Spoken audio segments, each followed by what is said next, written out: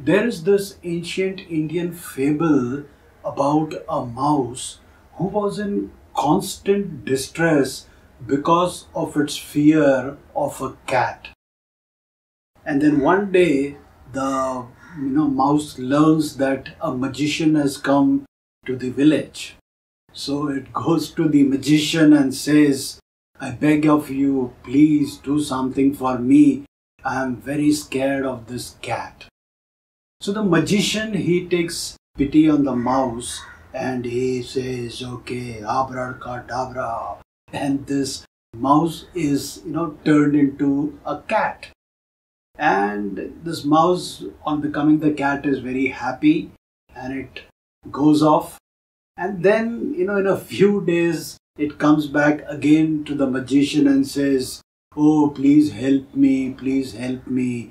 Now I'm very, you know, scared of the dog now. So you have to do something for me.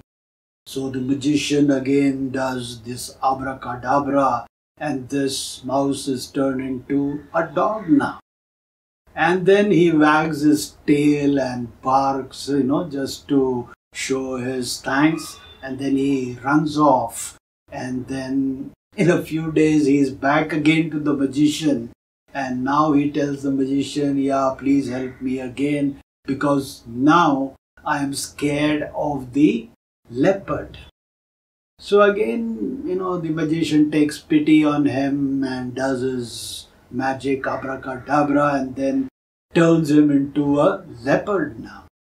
And then he goes away happily once again. And then again in a few days, again comes back to the magician and he says, Oh, you have to again do something for me because now I am afraid of the hunter.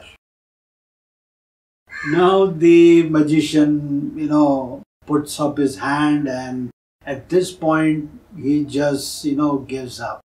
And then he turns to the, you know, mouse in the leopard form and he tells them that, look, no matter what I do for you, you know, it's not going to be of any help to you because you have the heart of a mouse. So I can't do anything. So I'm going to turn you back into a mouse. And then he does his abracadabra and that, you know, he turns him into a mouse once again.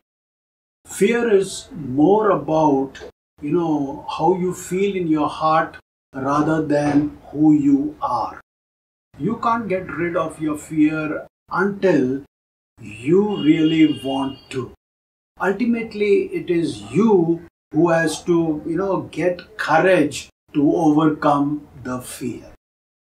So here are some questions, you know, you can ask yourself and even I would suggest you write down the answers on a piece of paper and then act upon them. Question number one What are some of my fears? Question number two Which are the fears that are holding me back in life? You know, whether it is physically, mentally, emotionally, socially, financially. Question number three What is the basis of my fears? Number four What can I do to overcome my fear? I hope you found the video useful.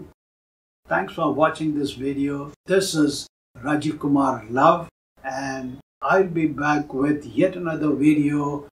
Until then, be happy, keep smiling and take care. Bye.